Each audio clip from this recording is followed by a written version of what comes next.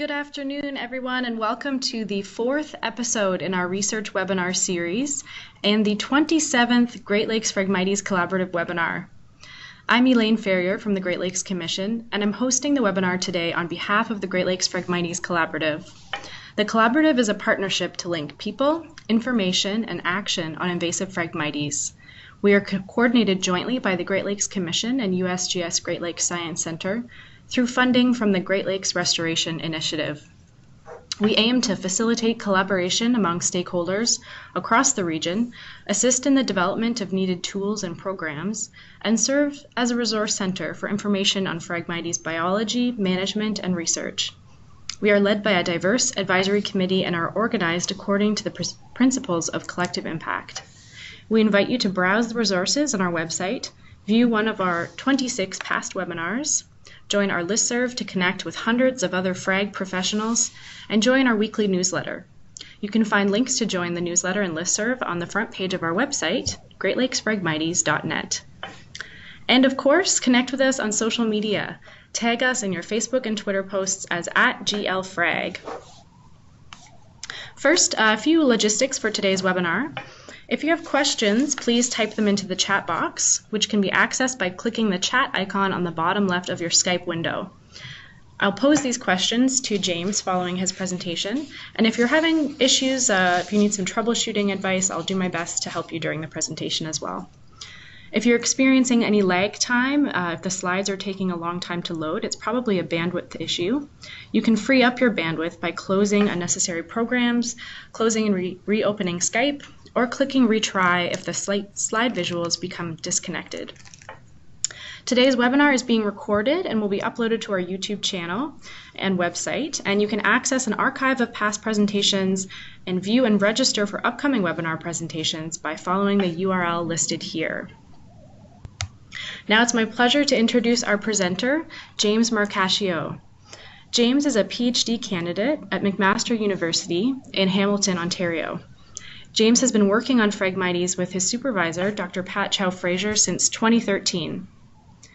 Thank you so much, James, for taking the time to share your work with us today. Please take it away. All right. Thank you, Elaine, for the introduction. Um, just give this a second to load back up here.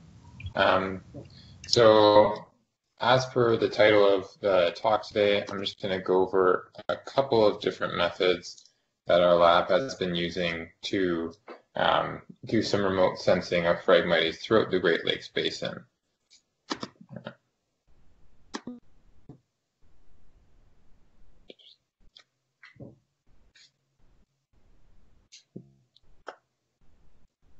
All right.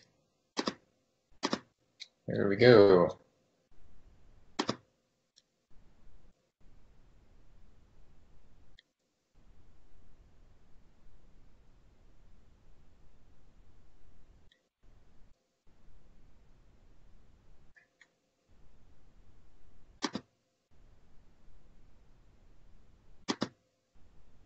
Oh, all right.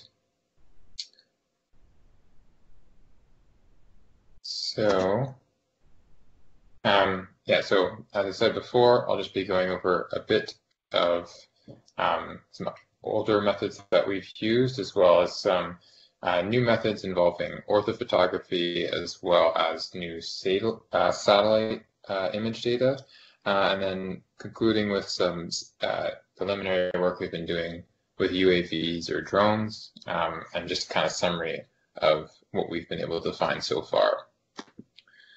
So the Great Lakes has been a very dynamic ecosystem over the past couple of years, especially um, when you take into consideration some external factors uh, such as climate change. So on the left, we have ice cover uh, a couple of years ago when it was quite high. Um, and then I believe the photo on the right here is from uh, one of the more recent years when it's been quite low. Um, you know, with climate change, we've been having different shifts um, in terms of what we're experiencing in the Great Lakes. This year, we've had a lot more ice cover than uh, some previous years, but it is constantly changing. Um, and here uh, is the town Grimsby, which is uh, just located to the east of Hamilton um, on the shore of uh, Lake Ontario. Um, and this is a historic air photo. Uh, you can see it's, uh, I took this from Google Earth of 1934. Um, not a whole lot happening in the little town of Grimsby, as you can see there. Um, but as of 2016, there's a lot more development. Um, and it's all taking place right along the shoreline. Um, so it, a lot of anthropogenic stressors here, and of course, um, the one that we like to talk about is Phragmites. Um, and one big thing about managing Phragmites is needing to ascertain where it is, so we can actually try and treat it or remove it in some manner. Um, it's already present in Lake Erie's major wetland complexes, and um, I'm sure many of you have heard about different sort of remediation techniques and things that are going on there um, to try and solve uh, you know the issues that it's causing on those landscapes. Um, but the big thing here is that whatever method we use, um, it re we require a large spatial scale to be able to map all of this, um, and also critically to able to differentiate from other vegetation, um, which has kind of been, I think, the bane of most remote sensing scientists' um, lives in terms of dealing with Phragmites. Um, and ideally, it would be repeatable for monitoring. Um, so what we really want to be able to do here is take an image and perform an automated classification on it. Um, so going from that top image there, this is the sand spit at long point, to the image on the bottom, where we actually have different classes um, in different colors. And really through this, we're teaching computer software to identify Phragmites on a small scale, and then it automatically shows us where all of the rest of the Phragmites is in that landscape. And that's really critically important because, um, as I'll discuss a little bit later, but trying to go through these things manually is just way too time consuming, regardless of the scale really that you're talking about, um, unless it's very site specific. And really um, doing this just has a more repeatable results and can be applied in different scenarios as well. So a couple of different methods um, that I said that we've used in the past or that have been used in the past and that are um, in published literature. Um, this one was using the Landsat satellite, um, which probably many of you are familiar with, has gone through a couple of iterations now and it's been up um, for quite a while. Um, and it also uses SOLRIS land cover data, which covers South, Southern Ontario, and that's our land resource information system. Um, so this is something that was developed by our province's Ministry of Natural Resources and Forestry. Um, and using our land cover layer allowed them to clip out areas where Phragmites is likely not to be present, um, like say residential areas. Um, but this method classifies where Phragmites is likely to occur really only classifies those. Everything else is just grouped as other vegetation. Um, but the nice part about this method was that it was completed basically for the entirety of southwestern Ontario. There was a focus on shorelines just because that's where Phragmites is most often found um, in those sort of semi-aquatic habitats. Um, but that was uh, how the study that study went, and it required multiple image years, um, which is fine because Landsat is again a historic satellite that's been up for quite a while um, but it is just something to take note of.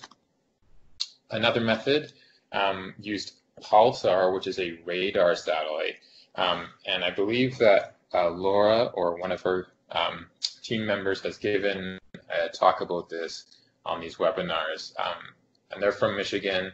They developed this method. We were uh, collaborators on this for the Canadian side for that data um, and it covered the Great Lakes shoreline within 10 kilometers. So again, um, where we're kind of mostly focusing our efforts, considering that it is an aquatic species. Um, and they identified multiple different types of wetlands. Um, so you can kind of see the class list there. It's a bit small, um, but there's quite a few different land cover classes that are represented, um, and Phragmites again being there in red. it did require a lot of work, but it was quite uh, an awesome product that uh, they were able to produce. And then finally, for um, a smaller publication we did at a separate conference, um, we used some orthophotos or airplane-based um, image data combined with object-based classification. And I'll go into this a bit more later, um, but we are using the Southwestern Ontario Orthophotography Project. Um, so, and that's from Land Information Ontario. Uh, so, and then our object-based classification system is eCognition. Uh, and that, this is something that we sort of wholly developed. Um, the reason we did this is because it's a high resolution data set, so 20 centimeters per pixel, as opposed to the um, 30 meters that you're getting off of most Landsat bands. Um, and the data was to be obtained every five years. So it's not as consistent as, say, Landsat coming by twice a month, but it is present. Um, but the one thing that made this difficult was that it's a springtime image capture. Um, it's really difficult to differentiate, especially within the wetland, um, different vegetation types that were present.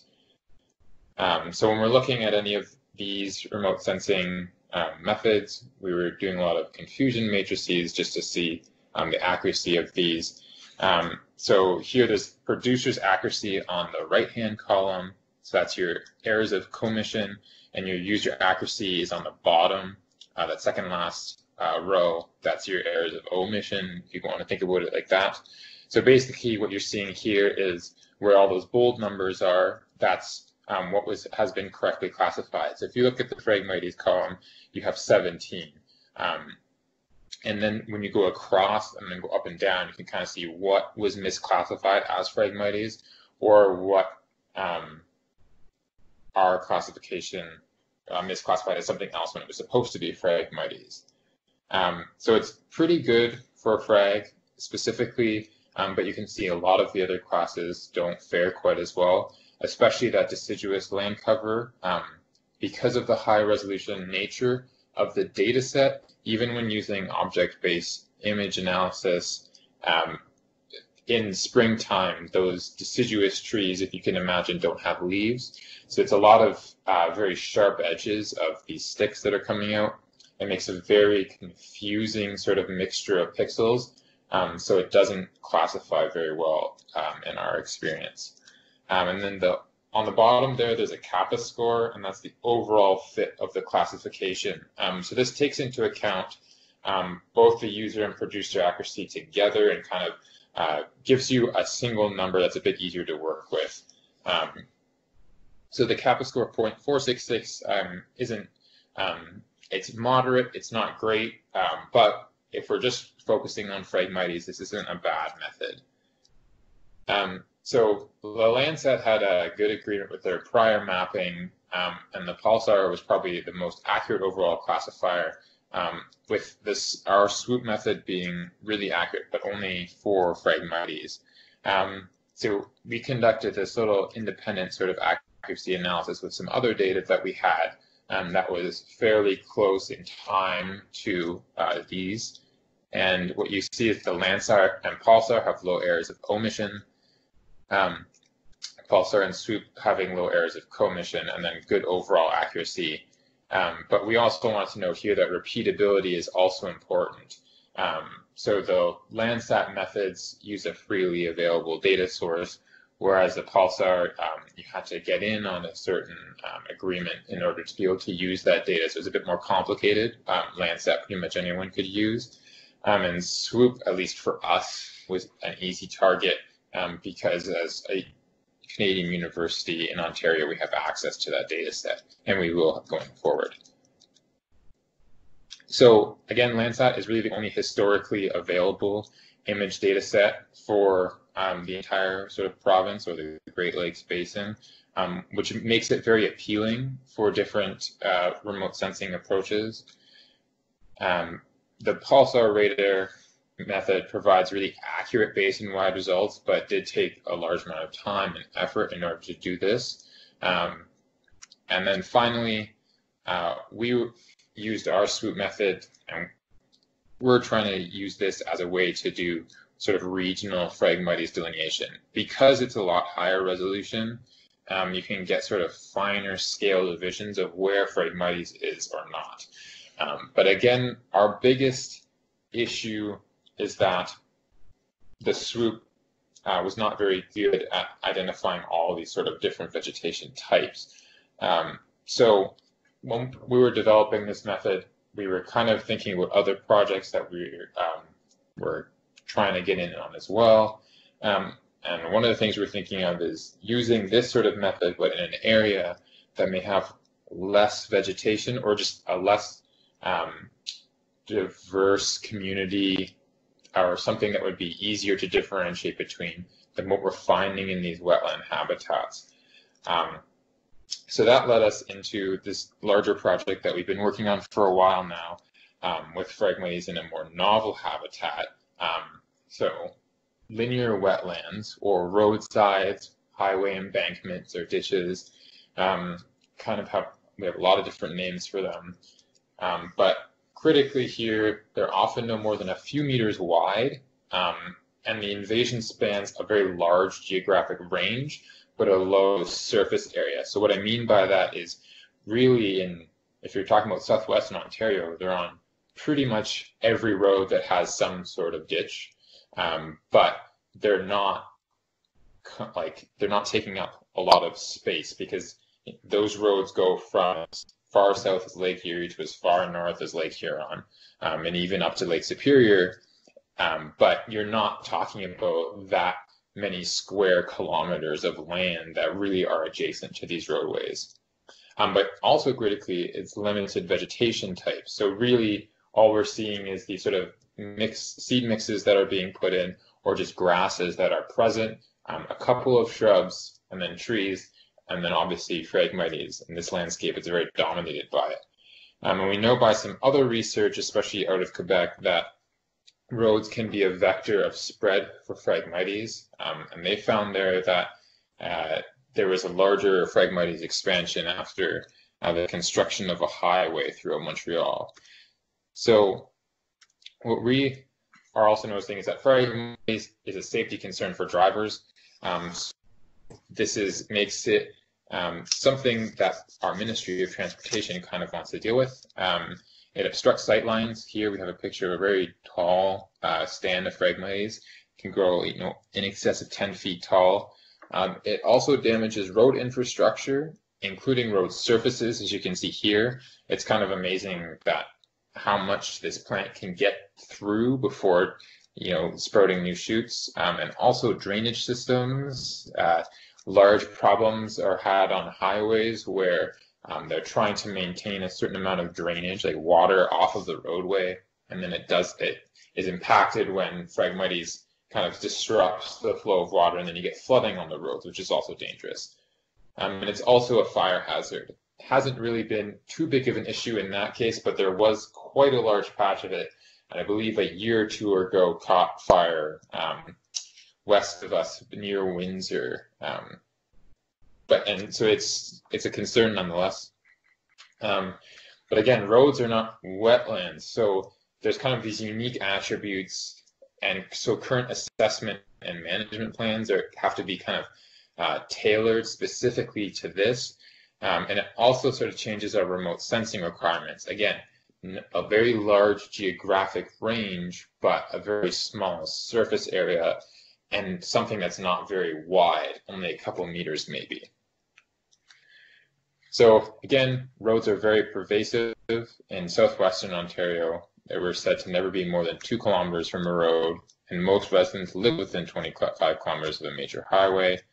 Um, and the Ministry of Transportation is responsible for just over 16,000 kilometers of these roadways. Um, so this is sort of the data set, if you want, that we're trying to work with here, the southwestern region um, from Windsor to Hamilton up to Tobermory. So currently, there is really no indication of how widespread Phragmites were on roadsides.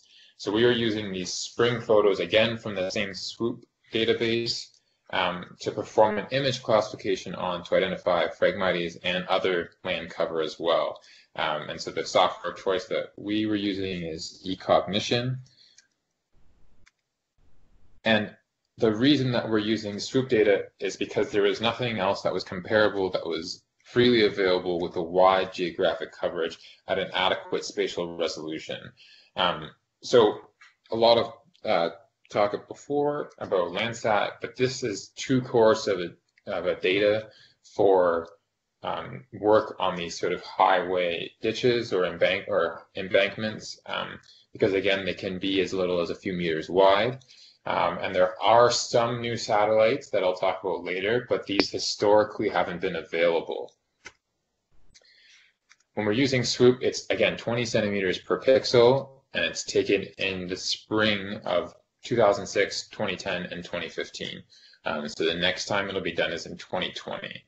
Um, one important thing to note when you're dealing with this, though, is that um, because it's the spring of 2006, that doesn't necessarily that doesn't reflect the growth that happened in 2006. Um, because nothing, the growing season has not been completed yet. So really, we're talking about the extent of Phragmites as of 2005, 2009, and 2014. Um, so we had to extract just the data adjacent to roads to reduce processing. Um, we have on the right here just a picture of a, um, that swoop data set, but in a wetland, and we really didn't want to include all this other data if we're just focusing on those roadways, and we know that it's um, can be a bit confused by these additional vegetation classes. Um, had to organize all that data into tiles and then extract that um, Ministry of Transportation uh, property from our 2006 and 2010 data sets. And if you're unfamiliar with object-based image analysis, essentially um, we had to use this because the swoop data are very high resolution um, and using object-based image analysis really simplifies the and improves the image processing process. Um, so it takes pixels that are of like color value or like signal response and then groups them into objects. So if you look on the right, you can see that image. At first, it's kind of like a desert with some uh, sh shrubs or brushes. Uh, and on the right, it's been circled by these sort of blue polygons. And so essentially what you're telling the program to do there is um, just group those uh, different features on the landscape and you can adjust how large or small you want those to be. Um, and you can do it in a hierarchical fashion if you want as well. Um, but it also brings in these additional metrics because now you're dealing with these objects instead of single pixels. So instead of having um, one or a few values from your uh, spectral uh, data set, you also can include things like texture or geometry or shape because now you're working with a couple of different um, pixels uh, or more, uh, and then you can take some values out of that. So we had to do same, same sort of classification accuracy verification.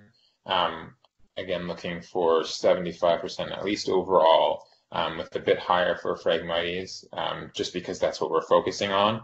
Um, and so the, on the right is kind of an example of what goes on where we take a road and then it becomes sort of these different polygons of different colors with the Phragmites there in red. Um, and here's just another example of a bit of a larger section. Um, and so you can, can, see in the gray would be the actual road surface area. Uh, and then the yellow and orange and green are different land cover classes that are adjacent to the road. And then our Phragmites again in red. So this is what we came up with so for our distribution in 2006 and then 2010. Um, so just to note here that there's just a base map behind it and the uh, polygons of Phragmites are enlarged a little bit. It's just basically impossible to see the entire thing at this scale unless I you know, apply a bit of a border to them. Uh, but you can still note in 2010 that there is an increase um, between these two data sets. And then from 2010, we have the 2015, where we're kind of seeing some differences in exactly where uh, Phragmites has become more dominant, but still there's looks like there's more on the landscape. Um, one important thing to note here, though, uh, the 2015 images had insufficient data. Um, so there was a change in the image processing and image capture of this data set um, that we were not aware of before getting this, um, and that's compared to the 2006 and 2010 data sets. Um, so we had a lot of data values peaking um, in a very short band. Um, so it just didn't make image classification possible. Um, so we had to do manual digitization um, for this data set, which, especially of a data set for this size, um, I would avoid at all costs. Uh, it took probably about as long to do this one data set as it did to do both of the others. And, you know, the 2006 and 2010, we had to develop the rule set. We, you know, this is from, you know, stage one until getting those uh, polygons out to the end of it. And this took about as long, but required a couple of people just sitting for quite a few days, um, probably losing their minds a little bit trying to do that. Um, so if that can be avoided at all, I would definitely recommend that. Um, and just taking a look at some of the spread in different uh, regional centers we have in Ontario. Um, so London being uh, kind of landlocked in the middle of southern Ontario, uh, Windsor near the border uh, with Detroit, and then Lambton is on the shore of Lake Huron, just sort of northeast of Windsor. Um, and you can see that in 2010, popping up now, there's quite a bit more. But again, interesting is that there's differences between these locations um, and how much more Phragmites is present in the landscape. Um, as well here, there's a in 2006 we had more cover, um, percent cover in this in, the north, um, and then in 2010 it didn't hadn't really grown that much, but in the south it had increased quite a bit more. Um, and same thing with these patch sizes, where the northern area didn't really increase in patch size, but the southern did more. Um, it, it, doubled in mean patch size, and the standard deviation also increased. So likely um, there was a lot of these larger sort of uh, dominating stands of Phragmites that were appearing along the roadways. Um, and as well, we could use this data set to look at different treatments that had been uh, conducted. Um, so this is using our 2010 and 2015 data. And you can see there that there's a couple different areas that the ministry's been spraying. Um, and in those sprayed areas, it's we can see that it's a lot. It's been effective, and there's been a net reduction in the amount of Phragmites. It is growing back in some of those areas, um, but again, we're looking at two different years, essentially the, the 2010 and 2015 data set, and there's been um, you know five years between those for growth and a bunch of differences between the treatments um, in terms of what year it was, how long it's been since then. Um, but this is something that we're going to be looking into a lot more as well. Um, but really, what I just wanted to highlight here was that it's it was a really good data set um, that we can use, and so can the Ministry of Transportation um, so from their perspective, just using it for treatment and removal. Um, and for us, it's more about, uh, you know, the treatment efficacy like we were showing in that last slide, but then also um, some different modeling perspectives. Um, we're kind of thinking about this in a landscape resilience perspective of what sort of variables promote or deter Phragmites on roadsides um, throughout Southern Ontario.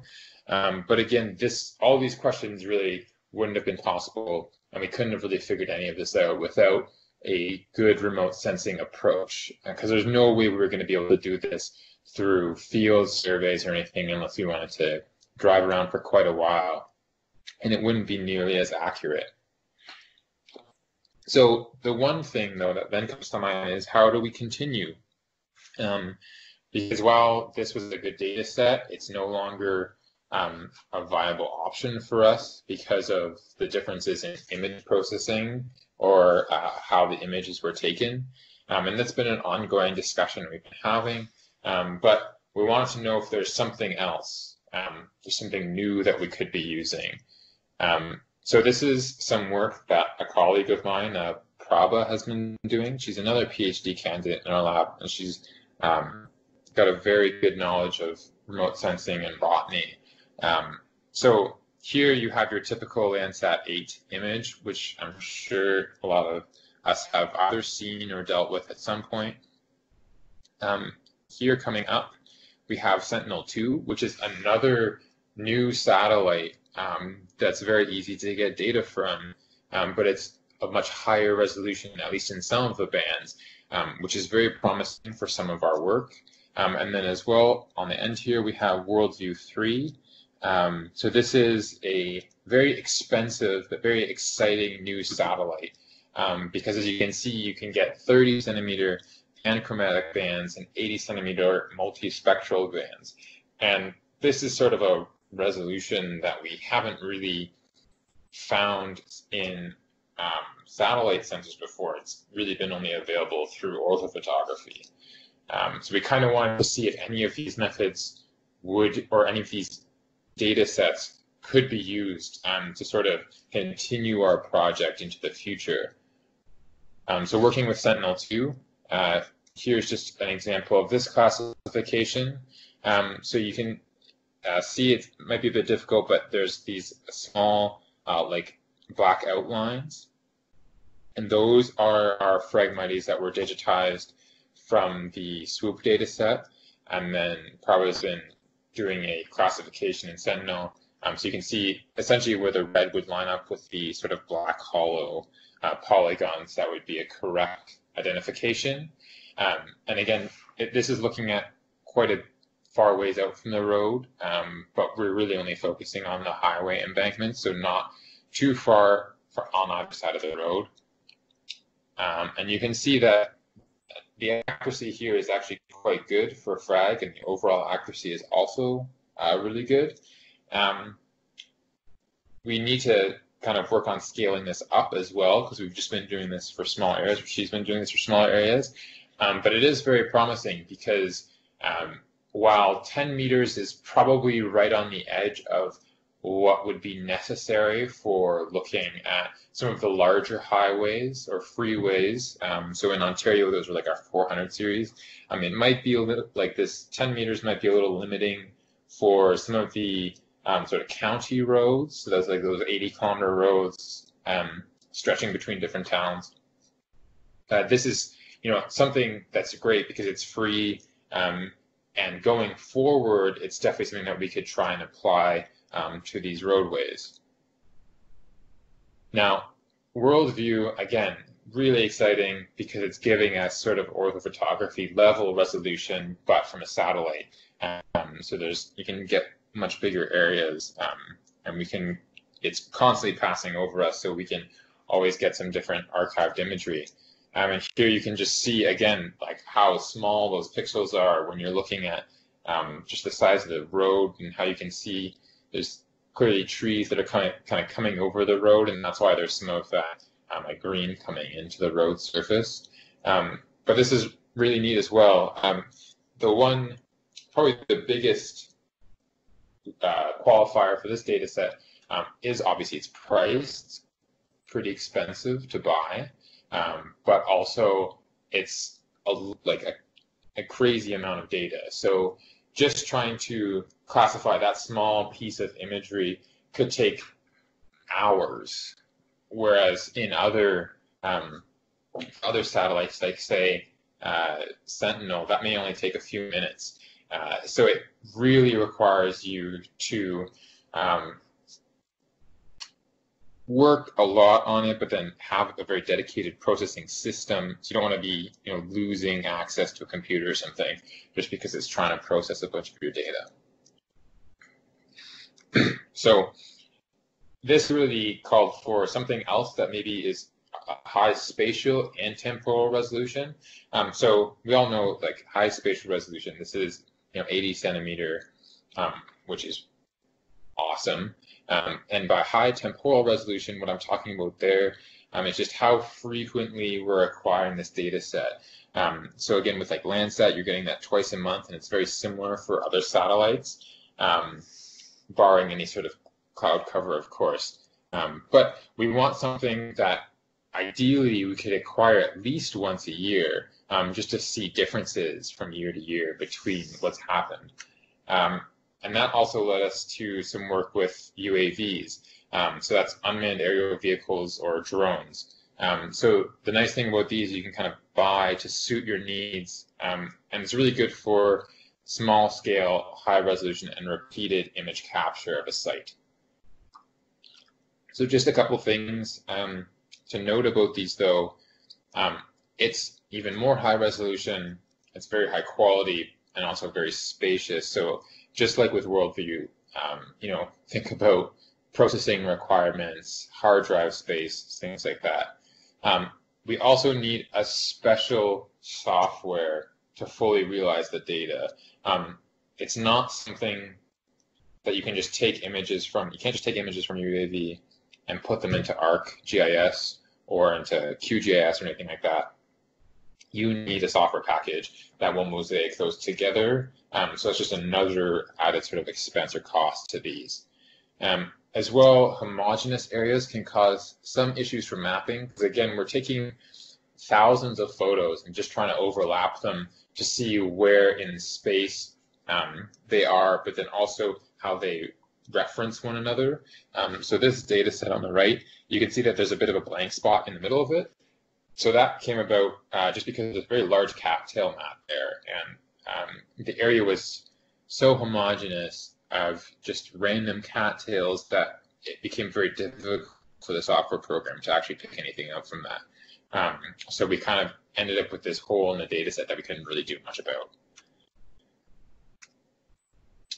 Um, depending on the project, there is um, so uh, limitations about uh, the sort of things that you can do with your UAVs. Um, you can't really fly um, beyond line of sight um, in Canada. Um, you can. It's really limited aerial cover per flight. There is a lot of uh, different regulation and requirements from that side. Um, so in Canada, we have to have certain special flight operations for certificates. Um, but in the States, I know things are a bit different. I haven't kept up as much with um, the differences that have been going on there, but um, as far as I know, it's a bit easier um, to fly in some locations in the States. Um, but really, this is should be viewed as a solution for smaller projects. So there's two different main systems that we have here. Uh, the multi-rotor, which has that vertical takeoff and landing. Um, this is something that you'd most notably see probably you know your neighbors maybe have one or someone that you know. Um, much easier to learn. Uh, they're also relatively inexpensive, um, although they have limited flight time and coverage. Um, not all of them fly autonomously, so you're going to have to be flying them yourself, um, and they're pretty noisy. So, in our experience, we've been able to get probably greater than 150 hectares a day from almost any location with a manual flight. Um, and that's really important. So some work we've done has been in Georgian Bay, so the eastern arm of Lake Huron. Um, and you'll see here uh, this small little island, we are trying to image the wetland off of that, um, which appears in sort of that higher res UAV photo you can see. And that small red circle, a little white dot in that. Um, so that is our landing and takeoff pad for that site. That, that was the only available space that we had. Um, so there's pretty much nothing else that we could have used in this situation um, except for the multi-rotor, which worked quite well. Um, there's also fixed wing systems. So these are look more like traditional aircraft. Um, they have a lot larger aerial coverage. There's a lot of very high quality systems. Not a lot of them are consumer based, um, and most of them are autonomous. Um, so essentially, you could pre-program a flight into them, and then they would just go and do it. You still have to keep an eye on them as part of government regulations, but essentially you could program something in, it would take off, and then you don't really, you aren't really doing anything with it. Um, but you do need a lot larger of a takeoff and landing space. They're more expensive um, and can usually only acquire like nadir or straight down pictures. Um, but in terms of the amount of space here, we've been able to do over a thousand hectares a day from a single large takeoff and landing location. And it's all pre-planned. Um, so another great thing is you could do a bunch of this pre-field uh, if you've gone for a site visit before and then just show up and be ready to go. So here's kind of a difference um, with, again, the some of the images we were using before. On the left is what we could achieve in one day with a multi-rotor, and on the right um, is a small portion of what we achieved in the same amount of time with a fixed wing. There's also a bunch of different imaging sensors you can put on it. Um, for the most part, they all come stock with some sort of standard color imagery option. Um, but you can add in near infrared, multispectral, and other applications. Um, for the most part, their megapixels are not as important as dynamic range. So, you know, there's lots of consumer cameras today that come with, even uh, iPhones come with like 10, 15, or 20 or 40 megapixels. Um, but since we're flying so close to the surface, uh, here our example that we have is a 12 megapixel 110 degree lens. That's the field of view. Um, at 300 feet, it's less than 15 centimeters a pixel. Um, depending on what you're looking for, 15 centimeters a pixel, you could be counting individual lily pads if you want to. So uh, probably don't need anything more than that. Um, and for sort of like a Phragmites invasion, really we may only want true color imagery um, you know, this is really high resolution. It's very easy to differentiate between this versus cattails or other uh, different vegetation on the landscape. Um, just some notes about playing the field. So this is kind of an example of a project that we did um, later last year. Um, so this is uh, a big wetland site on the coast of Lake Huron that we were uh, sort of um, contracted to do, if you will. Um, so this is sort of the imaging area that was most important. There's a lot of phragmites that's taking place in the landscape. Um, so this is actually from the the image I have on the cover slide uh, is our UAV photo from this site. Um, and we notice that there's a couple different takeoff locations, um, but also there's some issues. Um, so in red, uh, there's on the top there, there's a marina or a boat launch, sorry, and on that lower one, there's actually a household. Um, so in Canada, our regulations state that we can't be flying over people or property that isn't ours. We have to make sure to avoid that. Um, and as well, the big red area is a um, industrial complex that we were most definitely not allowed to fly over. Um, so we had been partnering with this complex, so we were hoping to use their um, sort of storage area at the takeoff site, um, but that didn't work. So we had two other options of sort of larger, uh, drier patches of vegetation. Um, you can see in that orange star and then the yellow star is we ended up using because it was just a little closer to the road, a bit easier for us to access. Um, but those are just some considerations we still had to go through. Um, still important to get field data, again, for any of these projects, because ground control um, really helps increase your geographic accuracy when you're talking about UAV data, because sometimes the inbuilt GPSs aren't as accurate. Um, but for any project, satellite ortho or UAV, we really want to have quadrats of known values of vegetation um, that really helps increase our data reliability and accuracy. Um, so we can take some post-processing stuff, images, and then they become maps, as you can see on the right here. Uh, in terms of the quality of these maps, uh, here's an example on the right.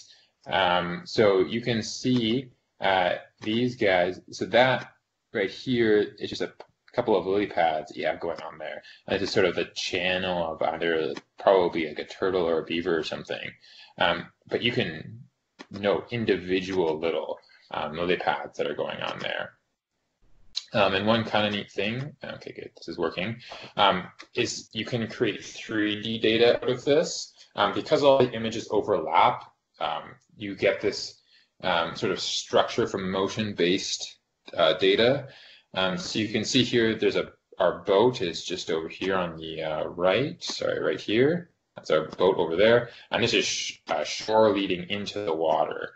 so this is one of our wetland sites up in Georgian Bay. Um, so there wasn't any Phrag here, but it's very interesting because um, this additional 3D data can kind of act as another band um, for when you're doing image classification. So here on the left, top left, you have um, the original image from the same site, and on the right is uh, uh, image classification that was just done with red, green, and blue color values. Um, this is something really quick I did, so it's not doesn't look very pretty, um, but you can see that there's a lot of different confusions, like a lot of colors overlapping each other, especially in the water.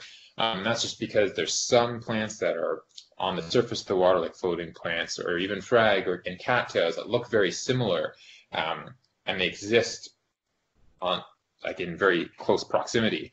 Whereas if we include sort of our um, height values, you can see here that the image is cleaned up a lot. Um, and this is purely by using basically the same classification, but just with an added height uh, band.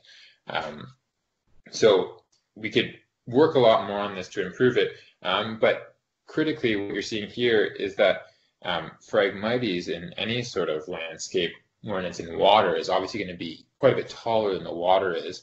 Um, so this has some great implications for sort of that aquatic terrestrial boundary because any plant that's on the surface of the water is going to get a height value of say zero in this case or sea level or uh, whatever it is but Phrag and other emergent classes and terrestrial classes are going to get a larger value um, which can really help separate things when you only have say color data um, so again, this is just something that is a, sort of a free, if you will, output from any of those image mosaicing software that you buy.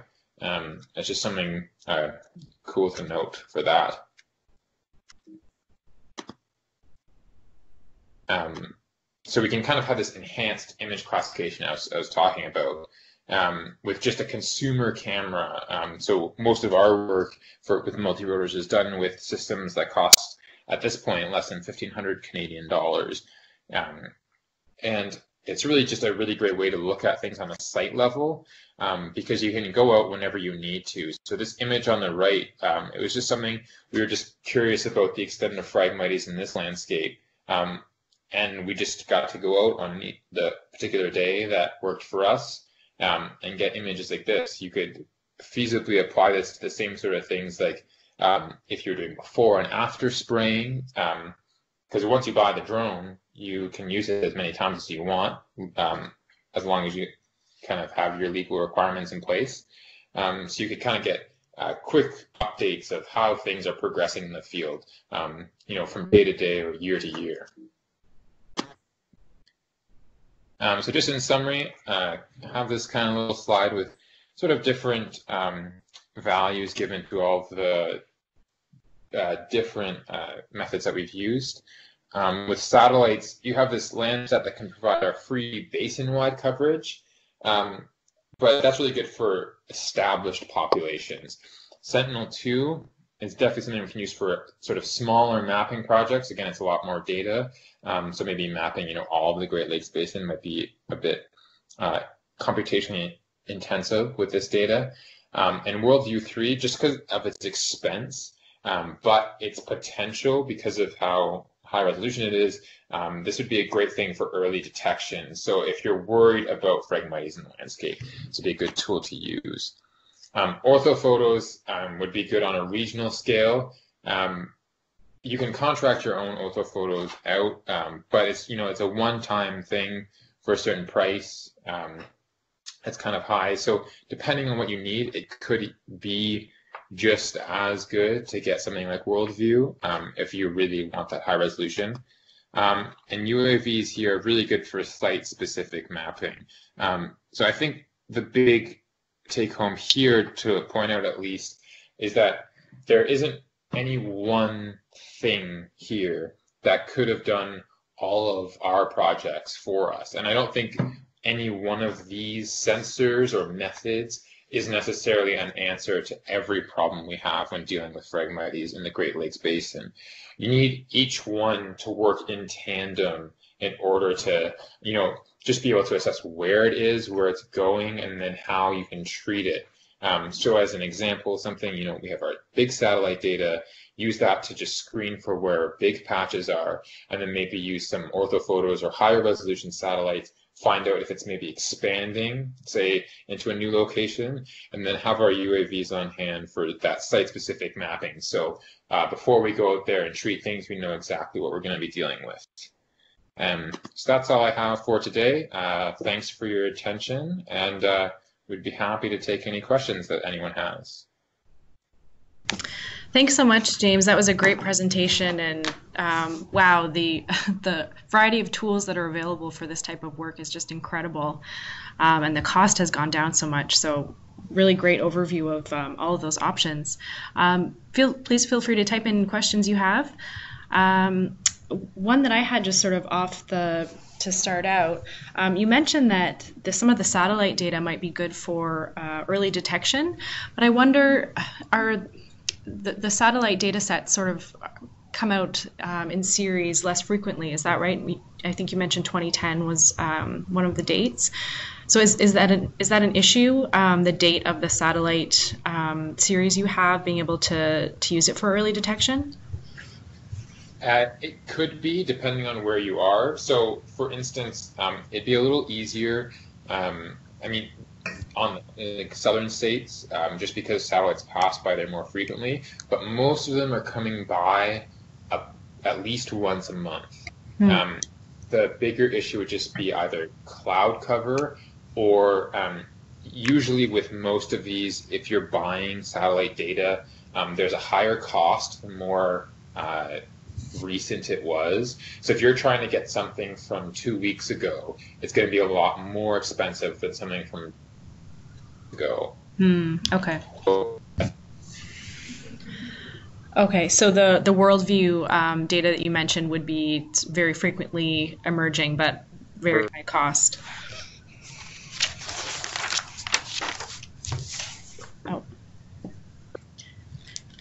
James, are you there? I think we maybe lost your audio for a minute. Oh, sorry. Um, yeah, I'm still here. Okay. Uh, so Anthony has a question. Uh, any NDVI analysis done on Phragmites? Uh, so we have not personally. So that would be the normalized difference vegetation index. Okay. Um, that's something we're hoping to do. It requires a near infrared sensor, um, which is something we don't have on our multi-rotor UAV, but we do now have on our fixed wing. Um, and we have kind of some plans to do that um, in this coming field season. Hmm. Okay. Thanks for that. Um, so this data, so there's lots of different options, as you said, for the different technologies that are available. Um, do you have any? Do you have a sense of when you're trying to communicate um, these analyses to land managers, or, for example, the Ministry of Transportation, who's planning their um, Phrag management efforts? Um, can you give us a sense of um, of how to translate this information for for applying uh, Phrag management based using this knowledge?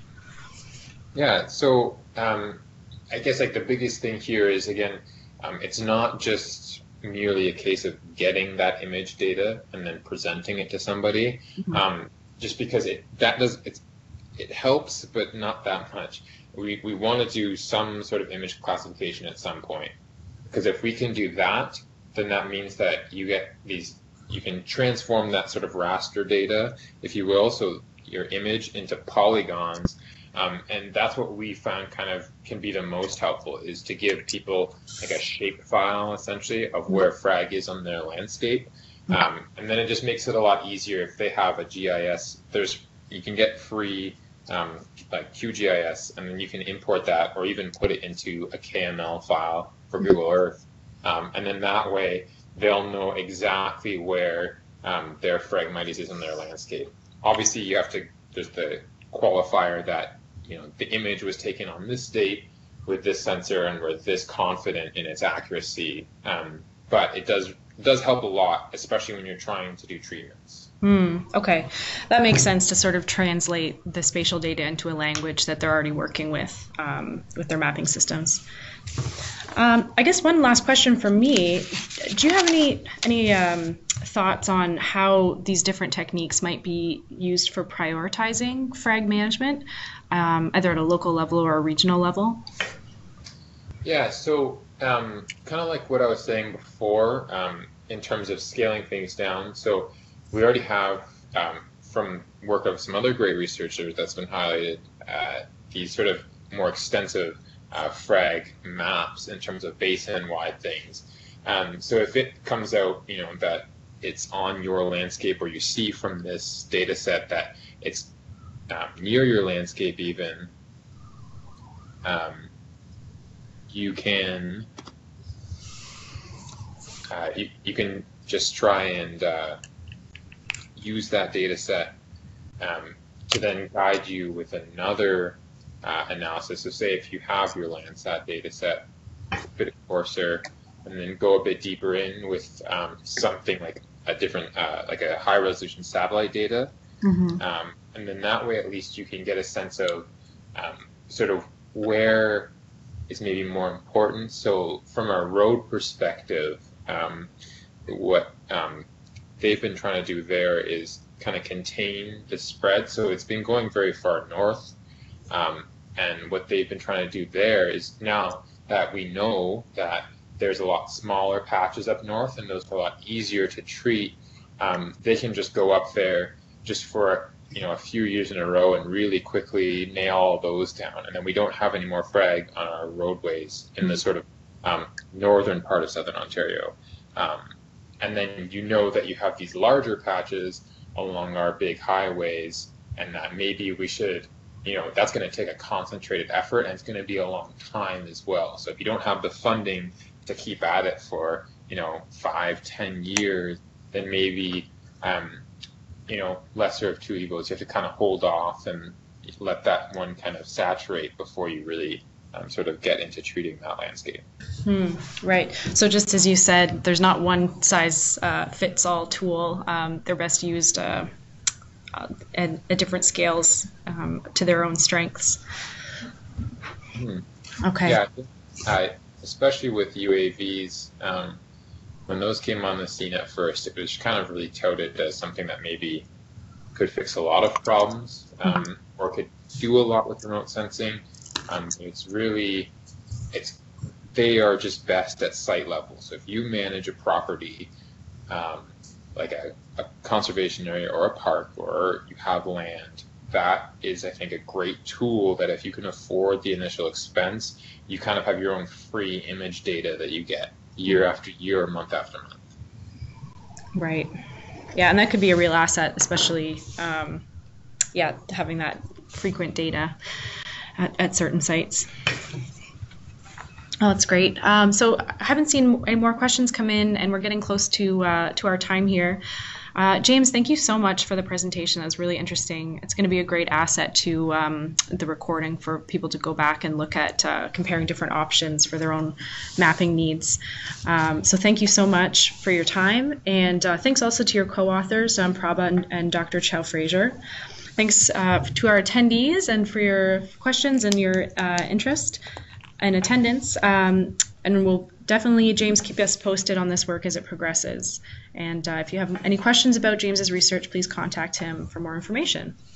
I'll be posting this webinar recording soon, and please share it with your networks when, uh, when you see it come through on the list serve. Our next webinar in this series will be by uh, Dr. Rebecca Rooney of the U University of Waterloo on February 7th, and the topic is the fate and effects of glyphosate uh, used in Phragmites control.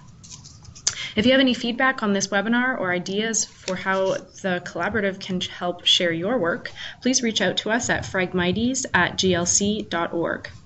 Thanks again, everyone. Thank you so much, James, and have a wonderful day. Thanks. Bye bye.